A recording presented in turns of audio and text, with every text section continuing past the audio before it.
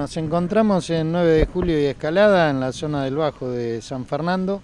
Estamos en prevención por el alerta de crecida del río de la Plata.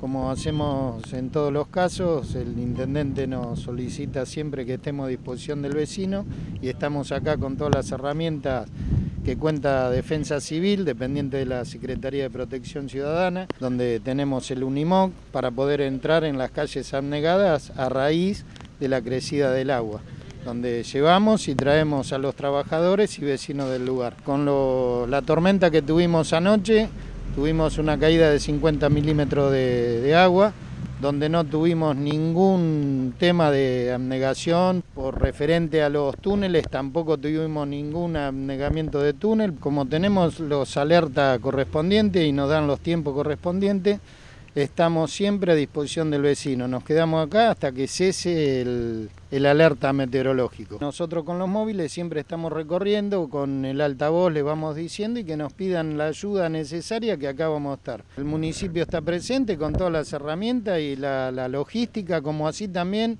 es necesario destacar la labor de los bomberos voluntarios de San Fernando que nos apoyan en estos y otros casos. Fabuloso, mira, yo llegué hace 15 minutos, venía por ahí por la esquina y me ofrecieron llevarme con el camión, viste, para que no me metan el agua, y por lo menos con el camión, escúchame, los acercan, hay gente con criaturas que vienen de hacer las compras, no, buenísimo.